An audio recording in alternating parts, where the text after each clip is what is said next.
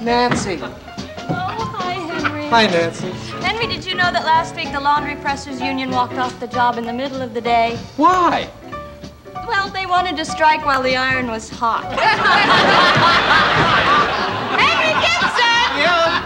How's Lois? Oh, she's great, baby. Yeah, the kids? Good. Yeah. Well, answer me this question.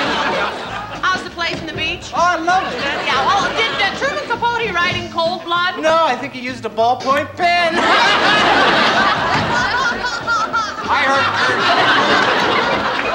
I heard Colonel Sanders just merged with the Stetson Hat Company, Nancy.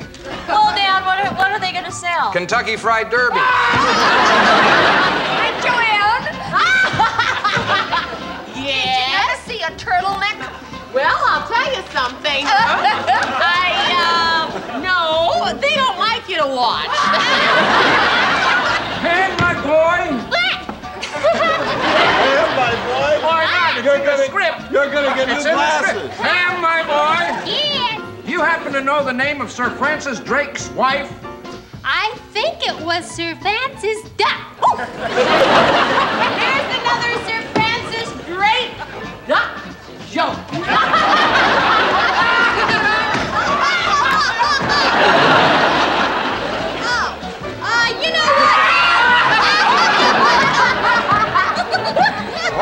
Goldie? you know what, Dan? No, Goldie, what? You should never put all your eggs in. I have to open this. I forgot. In one basket Should never put all my eggs in one basket. Why not, Goldie? because when the butter leaks out, it spurts. I mean, when you fry it, the butter leaks out. Nancy, my little spumoni. what do you get when you cross the South American company with a record album? I can't imagine. 33 and a third revolutions per minute. What? 33 and a third revolutions per minute. 33 and a third. Arte, Yes, Arte, did, Arte, did you Yes, know? my boy.